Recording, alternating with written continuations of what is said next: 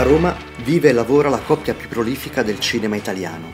Stefano Rulli e Sando Petraglia firmano le sceneggiature di film come Meri per sempre, fino ad arrivare a capolavori come La meglio gioventù, passando per Pasolini, Un delitto italiano. Come avete iniziato? Noi abbiamo fatto i critici cinematografici per, verso la fine dell'università per due o tre anni, poi ci è venuta la curiosità di vedere un set e abbiamo chiesto a Goffredo Fofi se ci presentava Marco Bellocchio. È stato un inizio particolarmente fortunato perché non soltanto è stato un film con Bellocchio e con Agosti, ma un film documentario che andava nei cinema. Come iniziati a scrivere un film?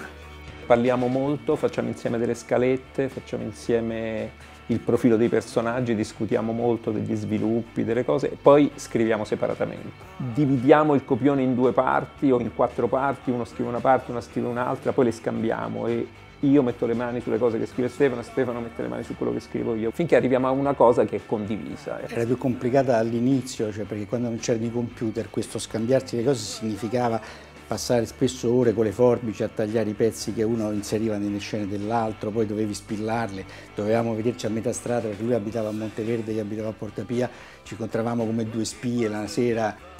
Insieme avete vinto 4 David di Donatello. Qual è stato il vostro primo film?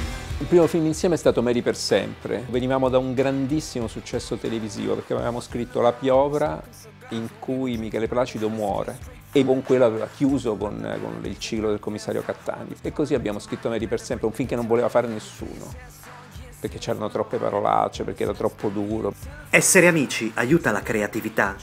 Ma nel nostro caso quando abbiamo cominciato a scrivere essere amici significava venire da anni in cui avevamo letto letto gli stessi libri, discutendoli uno per uno, visto gli stessi film, per cui siamo arrivati lì con una specie di bagaglio comune. Quando finalmente abbiamo cominciato a inventare, cioè avevamo come una quantità, come uno zaino che se ne è riempito. Quell'amicizia ci ha dato forza anche nei momenti di solitudine, no? quando tu presentavi un progetto che andava male, un conto se lo fai da solo, un conto se lo fai con una persona con cui sei legato, per cui capisci magari dove abbiamo sbagliato. Il momento in cui ti viene un'idea è sempre un momento molto forte ed è come una pianticella piccola piccola a cui si aggregano subito un sacco di cose. Anche nei film apparentemente più lontani da noi ci sono sempre pezzi di storie nostre. La cosa su cui lavoriamo molto all'inizio è proprio come impostare i personaggi, cioè perché i personaggi sono il cuore del film. Certe volte possiamo addirittura mollare tutti e due una scena, nel senso che se siamo in stallo, io la scriverei così, lui la scriverebbe così, siamo capaci di lasciare, se vediamo che non riusciamo ad andare oltre, la molliamo completamente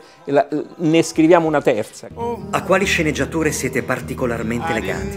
Io personalmente sono legato a Bianca perché è il primo film che ho scritto, con Nanni ero amico, nel senso che andavamo insieme magari a farci una partita a flipper o a, o a mangiare una pizza. E amiamo molto i film che ci sono venuti particolarmente bene, non so, Il ladro dei bambini per esempio è certamente un film che amiamo moltissimo. Abbiamo firmato gli articoli, i documentari, i libri, le sceneggiature e questa volta firmiamo anche questa intervista, vediamo.